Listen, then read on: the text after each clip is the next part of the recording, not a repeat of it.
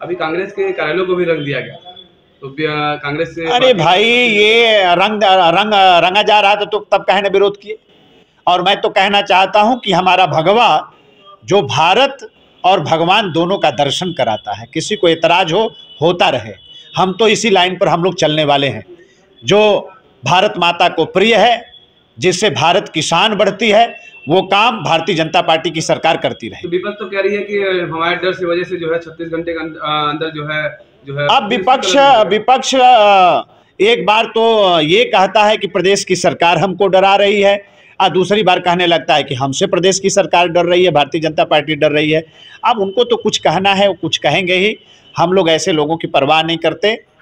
जनता के हित में जनता की सेवा में सरकार समर्पित है हम सब लोग समर्पित हैं। हम लोग ऐसे ही काम करते रहे। अखिलेश यादव कह रहे हैं बाईस में फिर से सपा की सरकार आएगी। विकास की जो नहरें हैं वो बहुत तेज़ी से ले जाएँगी अब ठीक है भाई कौन किसी को सपना देखने से हम कैसे रोक सकते हैं?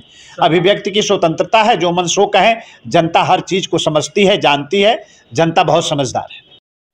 उस पर अखिलेश यादव ने ट्वीट किया है कि सरयू नदी की तीन चौथाई बन चुकी थी सपा कार्यकाल में। और थोड़े देखिए इसके अलावा मैं क्या कह रहा हूँ। अगर उनको थोड़ी सी छूट मिल जाए तो वो रावण की तरह बात करने लगे। है ना? रावण स्वर्ग में सीढ़ी बना रहा था। अगर इनको इनका बस चले तो ये कह दें कि हम रावण की तरह पूरे भारत को पूरे उत्तर प्रदेश को हम ऐसे ऐसे बदलना चाहते थे। तो आपने कर क्यों नहीं दिया भाई?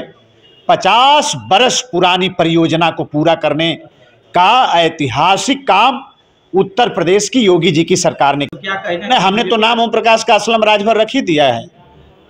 बाकी उनको एतराज़ हो हमने जो नाम रखा है तो वो उसको प्रमाणित कर दें। तो जो राष्ट्रवीर महाराजा सोहलदेव को अपमान करने वाले लोगों के साथ जाएगा तो हम तो असलम राजभरे कहेंगे उसको।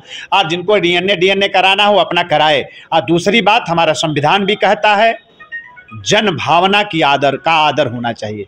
तो देश और प्रदेश की जनता अगर काशी और अयोध्या की तरह मथुरा का भी परिवर्तन चाहती है तो हरज क्या है? जो जनता की भावना है उस पर सरकार सिरोधार्य है।